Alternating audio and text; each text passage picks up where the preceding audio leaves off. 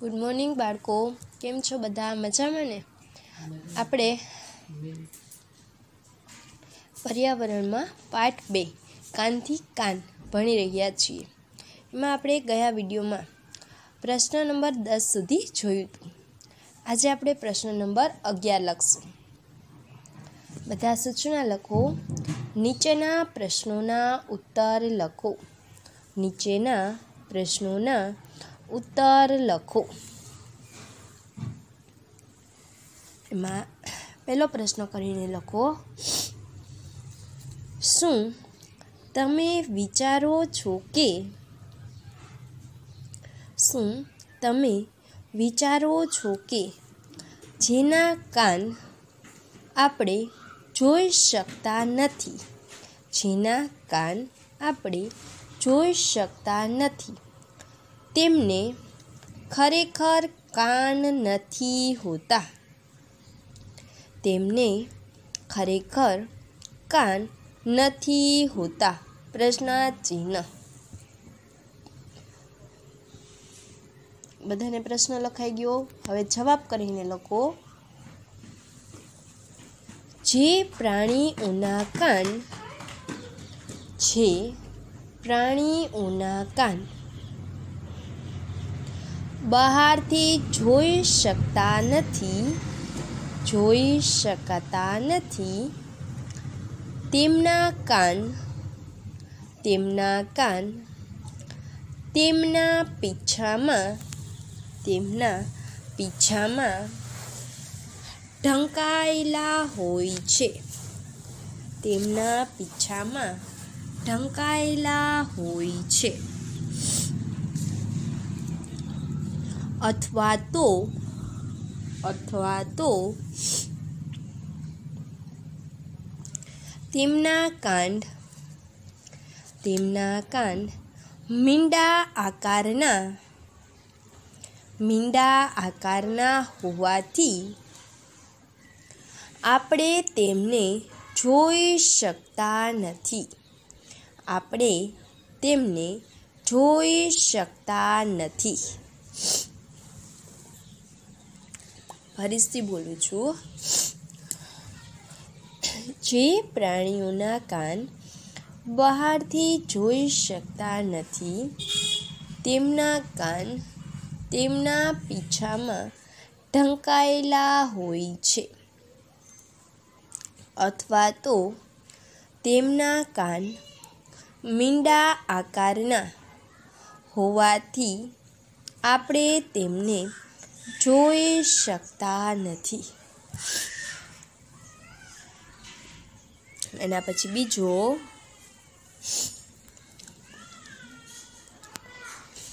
તમે ક્યારેય તમે ક્યારેય કોઈ પ્રાણી કોઈ પ્રાણી પાળ્યું છે? પાળ્યું છે પ્રશ્ન ચિહ્ન તમે ક્યાં ક્યાં ક્યાં ક્યાં પાલતુ પ્રાણી વિશે, પાલતુ પ્રાણી વિશે જાણો છો? ક્યાં ક્યાં પાલતુ પ્રાણી વિશે જાણો છો? આપણે ઘણીવાર છે કોઈ પ્રાણી પાળ્યું ન હોય, પણ આપણે એની બાબતની બધી જાણકારી આપણને હોય છે. આ જવાબ કરીને લખો તમે જો પાડ્યું હોય તો તમે એ રીતે જવાબ લખી શકો છો, નતર હું લખાવું છું, એ રીતે જવાબ લખી શકો છો. મેં ક્યારેય મેં ક્યારેય કોઈ પ્રાણી કોઈ પ્રાણી પાળ્યું નથી. પાડ્યું નથી. હા હા. મારા કાકાએ મારા કાકાએ એક કૂતરો પાળેલો છે. મારા કાકાએ એક કૂતરો પાળેલો છે. હું ગાય, ભેંસ, બળદ, બકરી, કૂતરો વગેરે પાલતુ પ્રાણી વિશે વગેરે પાલતુ પ્રાણી વિશે જાણું છું.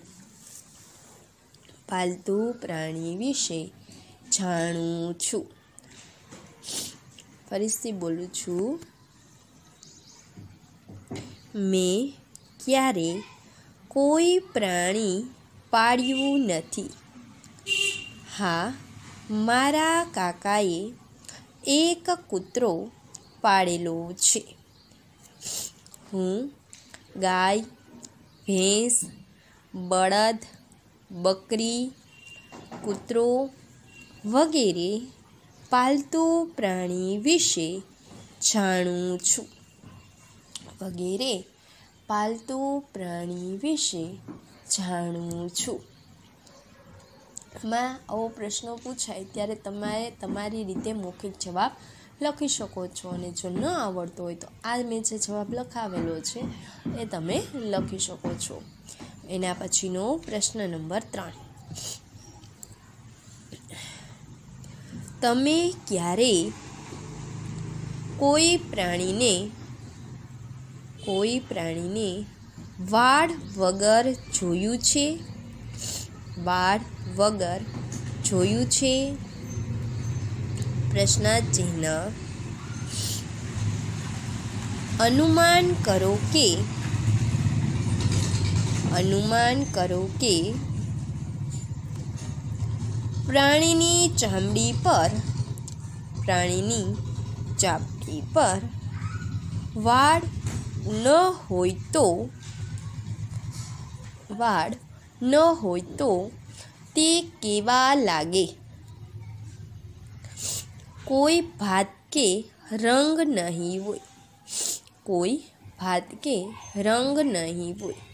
આપણે એવું કોઈ પ્રાણી જોયું છે જેને શરીર પર વાળ જ ન હોય. જો પ્રાણીને શરીર પર વાળ હોય તો એ ખૂબ જ સુંદર લાગે છે. જેમ કે આપણે છે, ગલીના કૂતરા હોય એને એટલા બધા વાળ ન હોય. જ્યારે ઇંગ્લિશ કૂતરા હોય, જેમ કે પોમેલિયન, જર્મન શેફર્ડ, આવા કૂતરા હોય એકદમ વાળ હોય તેના વાળથી એની સુંદરતા વધારે સરસ લાગે છે. તો આપણે ઇમેજિન કરીએ કે જો એને વાળ ન હોય તો કેવું લાગે? મનુષ્ય પણ એક પ્રકારનું પ્રાણી છે. તમે વિચારો, મનુષ્યને વાળ ન હોય તો કેવું લાગે? એના માથા પર જ વાળ છે, એ વાળ ન હોય તો કેવા લાગે? એવી જ રીતે આપણે અનુમાન કરવું. પછી વાળને કોઈ રંગ, ભાત કે ડિઝાઇન કે કાંઈ ન હોય, એની સાદી ચામડી હોય તો એ કેવું લાગે? જવાબ લખો એમાં. હા, મેં કેટલાક પ્રાણીને, હા, મેં કેટલાક પ્રાણીને વાળ વગરના જોયા છે. વાળ વગરના જોયા છે.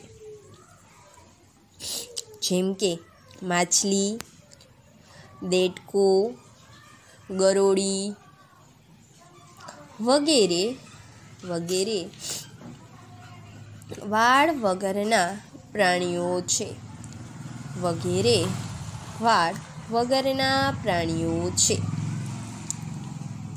પછી એમાં જ લખો.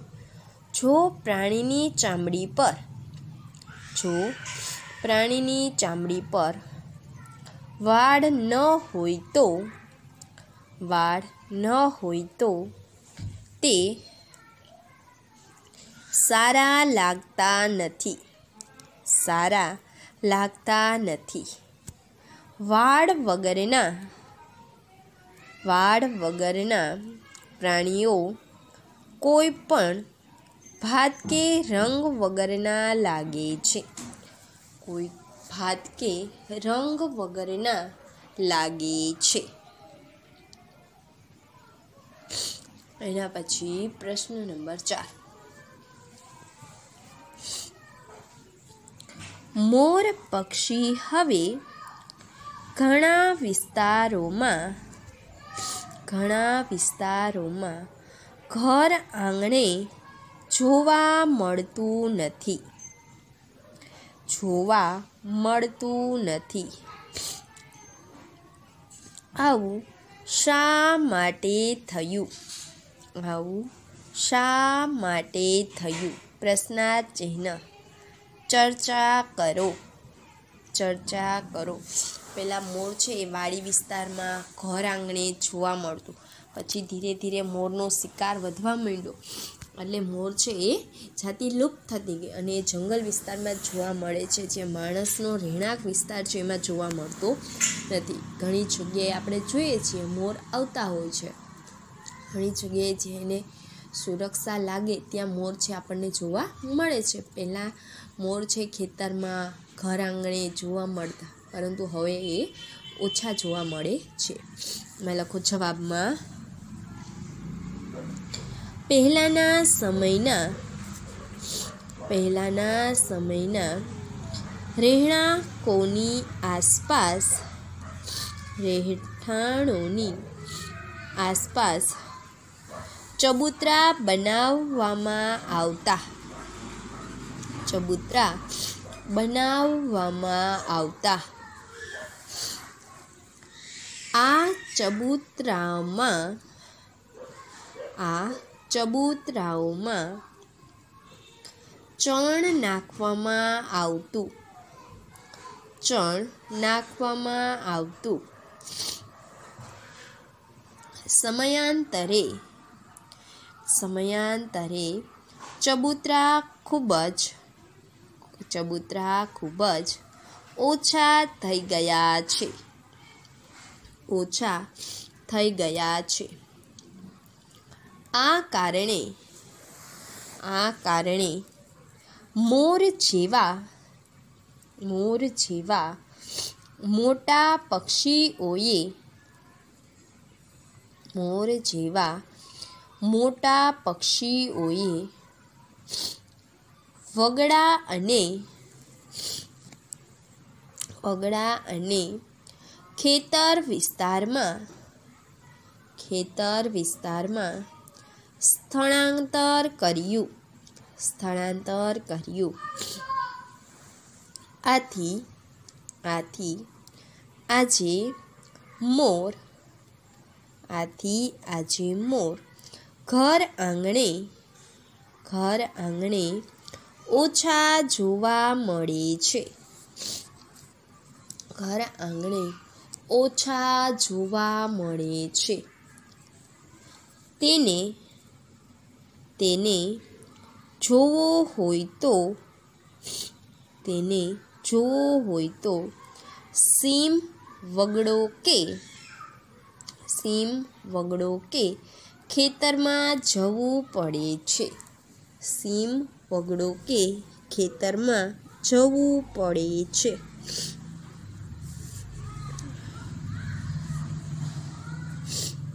આ કારણ પણ તમે લખી શકો. પહેલાં છે ગામના ચોરે છે ચબૂતરો રાખવામાં આવતો અને ત્યાં છે ગામના લોકો ચણ નાખતા. એટલે ત્યાં બધા પક્ષીઓ ચરવા આવતા. પણ ધીરે ધીરે માણસોની સંખ્યા વધતી ગઈ અને જગ્યા ઓછી થતી ગઈ. એમ ચબૂતરાનું સ્થાન છે એ નીકળતું ગયું છે. અત્યારે આપણે કોઈ મંદિરે જ ચબૂતરો જોવા મળે છે. સોસાયટી કે શેરીમાં છે, ઓછા પ્રમાણમાં આપણને ચબૂતરા જોવા મળે છે. એટલે મોરે પોતાનું સ્થાન ખેતર કે વગડો શોધી લીધું છે. એટલે આપણે હવે મોર જોવું હોય તો ખેતર કે વગડામાં જવું પડે છે. એના પછી લખો પ્રશ્ન નંબર પાંચ. વાઘને વાઘને રાષ્ટ્રીય પ્રાણી તરીકે, રાષ્ટ્રીય પ્રાણી તરીકે કેમ જાહેર કરવામાં આવ્યું? રાષ્ટ્રીય પ્રાણી તરીકે કેમ જાહેર કરવામાં આવ્યું? પ્રશ્નાચિહ્ન. લખો એમાં જવાબ કરીને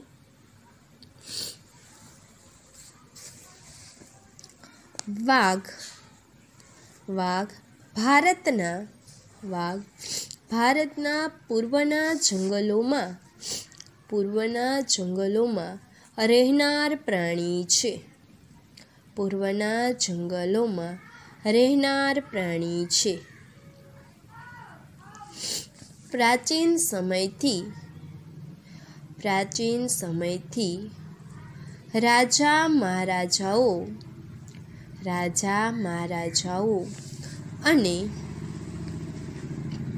અને શિકારીઓ દ્વારા શિકારીઓ દ્વારા વાઘનો શિકાર થતો રહ્યો છે.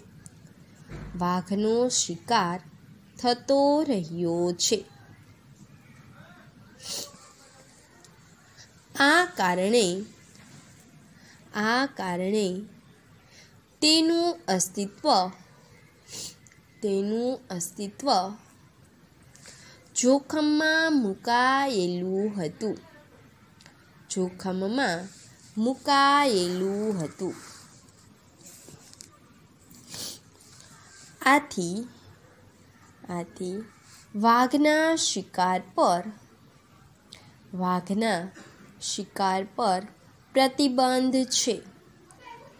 વાઘના શિકાર પર પ્રતિબંધ છે. એમાં જ લખો આગળ.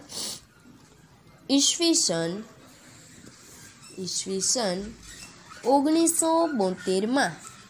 ઈસવીસન ઓગણીસો બોતેરમાં. સરકાર દ્વારા સરકાર દ્વારા વાઘના સંરક્ષણ માટે વાઘના સંરક્ષણ માટે પ્રોજેક્ટ ટાઈગર પ્રોજેક્ટ ટાઈગર અવતરણ ચિહ્નમાં લખજો. કાર્યક્રમ અમલમાં મુકાયો. કાર્યક્રમ અમલમાં મુકાયો. અને અને વાઘને વાઘને રાષ્ટ્રીય પ્રાણી રાષ્ટ્રીય પ્રાણી જાહેર કરવામાં આવ્યું છે. વાઘને રાષ્ટ્રીય પ્રાણી જાહેર કરવામાં આવ્યું છે. પહેલાંના જમાનામાં વાઘનો શિકાર કરવું એ ખૂબ જ બહાદુરીભર્યું કાર્ય હતું. એ પહેલાંના રાજા, મહારાજાઓ શિકારીઓ વાઘનો શિકાર કરતા. એટલે વાઘની સંખ્યા ધીરે ધીરે ઓછી થવા માંડી. એટલે સરકાર દ્વારા છે વાઘને રાષ્ટ્રીય પ્રાણી જાહેર કરીને તેના શિકાર ઉપર પ્રતિબંધ રાખવામાં આવ્યો. અને એક પ્રોજેક્ટ ટાઈગર કાર્યક્રમનું મિશન શરૂ કરવામાં આવ્યું. જેથી આજના સમયમાં વાઘની સંખ્યા આપણને બમણી જોવા મળે છે. અને જે વાઘને શિકાર કરવામાં આવતો એના પ્રત્યે સજાની જોગવાઈઓ પણ કરવામાં આવેલી છે. અને વાઘના સંરક્ષણ અને સંવર્ધન માટે તમામ પ્રકારની તકેદારી સરકાર દ્વારા લેવામાં આવે છે. જેમ સિંહ દ્વારા સિંહને પણ બચાવવાના જે ઝુંબેશો ચાલે છે, એવી જ રીતે વાઘને બચાવવાની ઝુંબેશ પણ ચાલી રહી હતી. હવે એના પછી પ્રશ્ન નંબર બાર. ટૂંકમાં લખો, વર્ગીકરણ કરો. વર્ગીકરણ કરો. ઈંડા મૂકનાર પ્રાણીઓ અને બચ્ચાને જન્મ આપનાર પ્રાણીઓ. ઈંડાને મૂકતા પ્રાણીઓ અને બચ્ચાને જન્મ આપતા પ્રાણીઓ. પહેલાં કાઉન્સમાં લખો, કાગડો, મોર, બિલાડી, ચામાચીડિયું, માછલી વહેલ, ગરોળી, હરણ, મગર, સસલું, દેડકો અને ઉંદારા. ફરીથી બોલું છું. કાગડો, મોર, બિલાડી, ચામાચીડિયું, માછલી, વહેલ, ગરોળી હરણ, મગર, સસલું, દેડકો અને ઉંદર. હવે બે ભાગ પાડો અથવા તો જે વિડીયોમાં દેખાય છે એ રીતે લખો તો પણ ચાલે. ઈંડા મૂકતા પ્રાણીઓ. ઈંડા મૂકતા પ્રાણીઓ. અને બીજું બોક્સ બનાવો. બચ્ચાને જન્મ આપતા પ્રાણીઓ. બચ્ચાને જન્મ આપતા પ્રાણીઓ. લખો ઈંડા મૂકતા પ્રાણીઓમાં. આપણે આગળ કરેલું છે એ જ રીતે છે. કાગડો, મોર કાગડો, મોર, માછલી માછલી, ગરોળી ગરોળી, મગર મગર ને દેડકો ફરીથી મોકલું છું. કાગડો, મોર, માછલી, ગરોળી, મગર અને દેડકો એના પછી લખો, સામેના બોક્સમાં અથવા તો નીચે બચ્ચાને જન્મ આપતા પ્રાણીઓ. બચ્ચાને જન્મ આપતા પ્રાણીઓ. લખો એમાં, બિલાડી ચામાચીડિયું, વહેલ વહેલ, હરણ હરણ, સસલું સસલું અને ઉંદર. બિલાડી, ચામાચીડિયું, વહેલ, હરણ, સસલું અને ઉંદર. આ હતા બચ્ચાને જન્મ આપતા પ્રાણીઓ. આજે આપણે પ્રશ્ન દ અગિયાર અને બાર કરેલો છે. આની સાથે જ તમારો પાઠ બે કાનથી કાન અહીંયા પૂરો થાય છે. જો કોઈએ સ્વાપોથી લીધી હોય તેમાં પ્રવૃત્તિ આપી છે હોર્સ પ્રકારના પ્રશ્નો આપ્યા છે, તમારે જાતે કરવાના છે. આગળ એમાં બધાના જવાબ તમને મળી જ જશે. ઓકે? બધાએ હેપી દિવાળી અને ધ્યાનથી ફટાકડા ફોડવાના છે. બધાએ ફટાકડા ફોડવાની સાથે સાથે વીડિયો પણ જોવાના છે. Okay, take care bye